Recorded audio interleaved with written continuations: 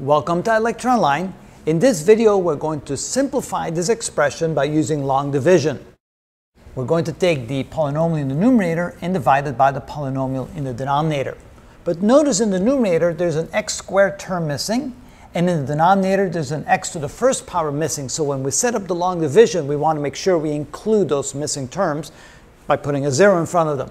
All right, this is what we're going to do then.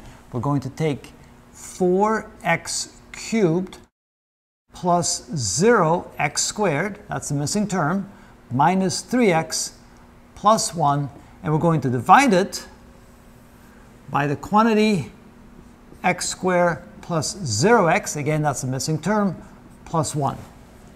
So now we tell ourselves x squared goes into 4x cubed how many times? And the best way to think about it is, what should I multiply this term by to get this? And the answer then would be 4x. So we write 4x because 4x times x squared gives us 4x cubed, so that when we subtract this from that, we get 0. That's the ultimate goal here. But then we also have to multiply the 4x by all these other terms. So 4x times 0x gives us plus 0x squared. 4x times 1 gives us plus 4x. Now we subtract this polynomial from this polynomial. This minus this gives us 0. This minus this gives us 0. And this subtract from that. So minus 3x minus 4x gives us a minus 7x. Now notice, I'll go ahead and write 0x squared here to make it easier.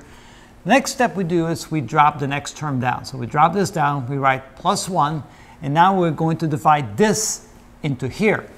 Now notice that this is a 0x squared, so x squared goes into 0x squared 0 times, or you can ask yourself, what number times this gives us 0x squared? And of course the answer would be plus 0, because 0 times this will give us 0x squared, this times this gives us plus 0x, and this times this gives us plus 0.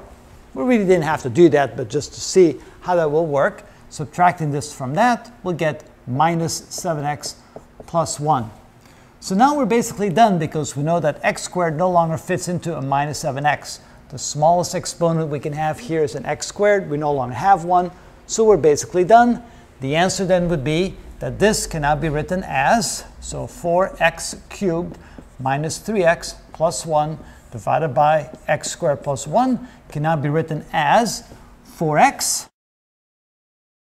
And the remainder is this divided by the denominator. So plus the quantity minus 7x plus 1 divided by the denominator x squared plus 1, which is the quotient or the result of dividing this into that numerator.